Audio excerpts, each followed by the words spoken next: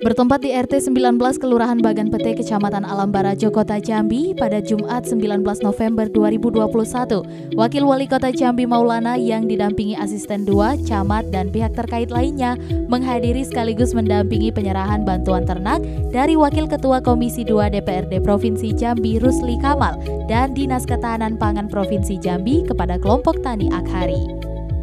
Dalam kesempatan tersebut, Maulana mengucapkan terima kasih atas sinergitas yang baik antara pemerintah kota dengan Provinsi Jambi dalam rangka pemulihan ekonomi pasca pandemi. Dirinya juga berharap dari bantuan ini ke depan kelompok tani Akhari Bagan Pete dapat menjadi sentra ekonomi.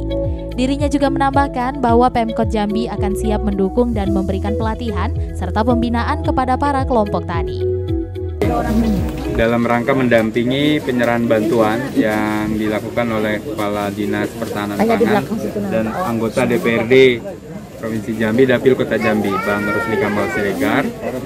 Kami atas nama pemerintah sangat berterima kasih tentunya sinergitas pemerintah Provinsi dan Kota Jambi dalam rangka pemulihan ekonomi pasca pandemi COVID ini dengan membangun sentra-sentra ekonomi. Dan kita melihat memang di wilayah ini sangat cocok ya masih luas, rumput juga banyak, lahannya luas. Nah, mudah-mudahan bantuan yang diterima oleh kelompok AHAR ini bisa berkembang, kemudian nanti juga menjadi sentra ekonomi. Kami pemerintah Kota Jambi melalui Dinas Pertanian dan Ketahanan Pangan akan melanjutkan pembinaan-pembinaan Sementara itu, Wakil Ketua Komisi 2 DPRD Provinsi Jambi, Dapil Kota Jambi Rusli Kamal mengatakan, bantuan ini diberikan kepada masyarakat dan kelompok yang terdampak ekonomi karena COVID-19. Dirinya juga menegaskan bahwa ini merupakan kewajibannya sebagai wakil rakyat untuk meningkatkan kesejahteraan masyarakat. Salah satunya dengan memberikan bantuan 69 ekor kambing dengan nominal uang 230 juta rupiah tersebut.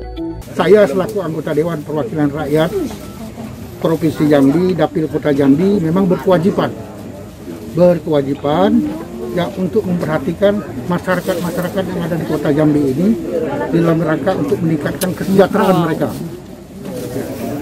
karena memang kami di Komisi 2 ya sudah sepakat dan sudah sepakat secara keseluruhan bahwa keberadaan kami adalah untuk meningkatkan kesejahteraan ekonomi masyarakat. Lilis Karlina, Cek TV melaporkan.